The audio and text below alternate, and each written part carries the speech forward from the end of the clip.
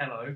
Um, thanks for uh, watching. Uh, this is going to be the first of hopefully many reviews. So I've decided to change my YouTube channel just as a brief startup. Decided to change it to a sort of um, ad themed thing for the time being. Maybe for the foreseeable future, I'll be reviewing ads, and I think Christmas is a great time to start. So today we'll be reviewing a selection of Christmas ads. I haven't actually seen the cooperative one just yet. Obviously, everyone by this point, it's the 16th of December, uh, 2020. So everyone has seen the Christmas ads uh, for John Lewis and the like, but not necessarily like these new ones that have been out for you know two weeks. Uh, I've seen the Coke one as well. I'm I'm going to be as honest as I can and not try and be disen- disingenuous with my reactions. Give my honest opinions and my honest thoughts on the on the advertisement, and then we can. I'll try and keep it brief whilst it's on, and then we can discuss it afterwards. Uh, so, without further ado, let's go. So, we'll start with the Christmas ad uh, for 2020 for John Lewis and Partners. Let's uh, let's start it. I was uh, I was kind of hoping there would be an ad on this, like an ad on the ad, but unfortunately not.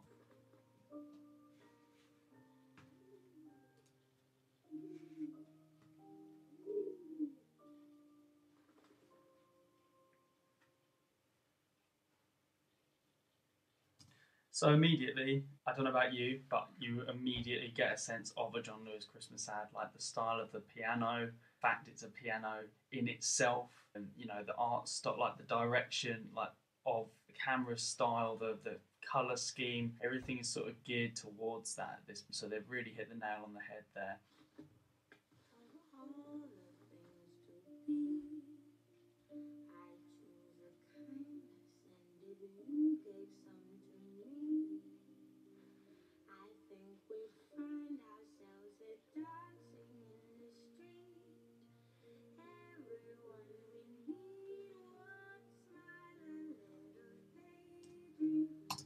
Right, so I've just realised something. So I didn't really notice this the first time around watching it, and it might sound silly to say, but I, I I'd never really understood the art direction, why it changed to different schemes. But now looking at it again, I'm noticing that maybe it's from the different perspectives of the, the thing. So, for example, the child was a living human, right? So he was in a living human world.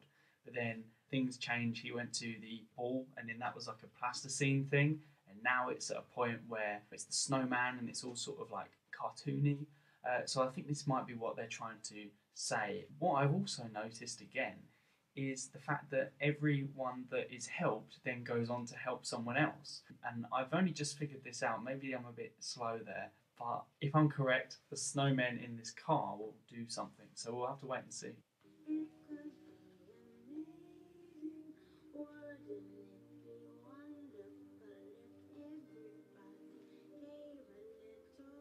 I'm a genius.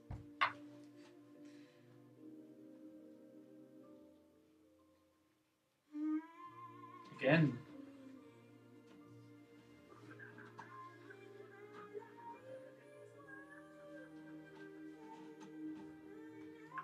Bro, you need to talk to your parents.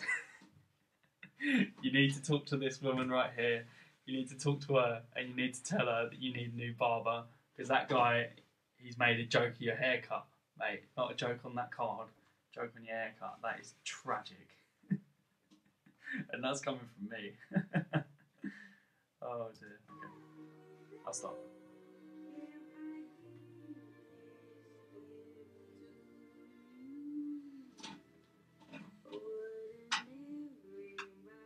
I just feel bad for this hedgehog, man. I don't know who I feel worse for, the ranger or the hedgehog. Uh, it's like, why, why are you trying to hang around with these gangster pigeons, bro? You're a hedgehog. They're sick. Hedgehogs are sick. Don't try and be something you're not. Be a hedgehog and own it. But yeah, sorry.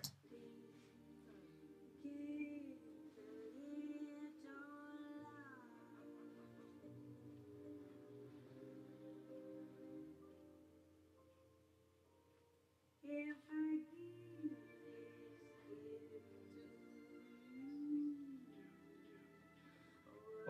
and she's the one who did it.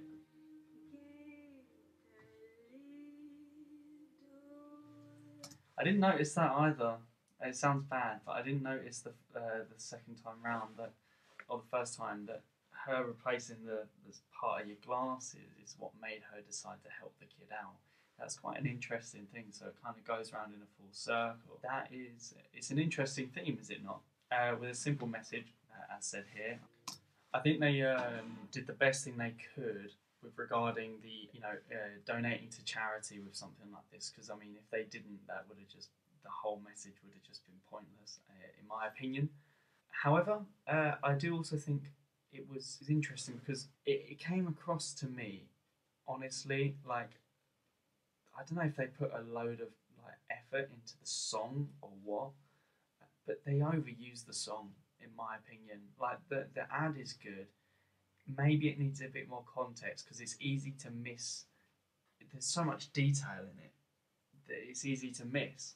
I think they even have references in there. Like there's a part where it's the old man. Give me a moment. I'll find it for you. So here, this guy passes this over to this old guy. Is this not a reference from the ad of the old guy on the moon? Uh, It feels like it is. So they're even putting references in. That's the amount of detail that we're dealing with here. There's a lot going on. Um, and, and maybe that's a good thing because it means that people have to watch more than once um, to properly understand it. But I do also think that they put too much emphasis on, on this song. Like, it's not a bad song, but it's just, I don't know. Do you know what I mean? Like, this part here, I don't know about you, but they have these short ads that they do, the cut down versions, um, that they have for only, you know, 15 seconds or whatever. And this part always plays. This part. And it's it's nice the first time, but then I'm and then you hear it again. It's just like, dude, I don't need it. And like it, it, it becomes too much in my opinion. So that's uh, that's the John Lewis ad in my opinion. So I think if I had to rate it on a scale of one to ten, I would probably say it's creative. It's got a strong story, a strong theme, a simple, clear tone message that's well related to Christmas. The art direction's brilliant. Um, the song itself is okay, but the song is repetitive and it is repeated again and again. And it's not the type of song that should be. It's one that you invest yourself in over a period of time. You can't just go straight in with the final thing. You can't do that. You can't do that, and it doesn't work. Um, so unfortunately, I'm going to to give this like an an eight, honestly. And like normally, to, to me, to most people, John Lewis ads are in like the high nines, the tens. They're like the best ads they can be. So there was just one thing I just wanted to quickly add that I saw on the Christmas ad. Whilst I was editing this section, I stumbled across something that interested me, and I just wanted to add it quickly. If you notice this pigeon, they, uh, the child and the pigeon actually have an exchange between the two of them. It's, it's quite interesting, really. It, I believe that to an extent it signifies what it's like to be negative or to be passive at least and, and not help the kid out. The pigeon is incapable of making a decision to help the kid and it flies away. And they have this exchange. Watch this very carefully. The kid's hopeful. The pigeon's watching him. He's hoping the pigeon. Everyone's hoping, and it doesn't. And I find that very interesting because they're making the point that humans are capable of doing good, which this, as we know, this kid then goes to do. But why would you make that comment? It's because it adds depth to the overall theme of you know giving a little love, right? It's it's this idea that this pigeon represents that which is passive and negative and maybe not even understanding, which is everything that a human can defy itself against, right? Okay, that's all I wanted to add. Thank you. So, uh, so that's it for this version uh, for, for today. So, thank you so much uh, for listening and take care. Enjoy the rest of your Christmas.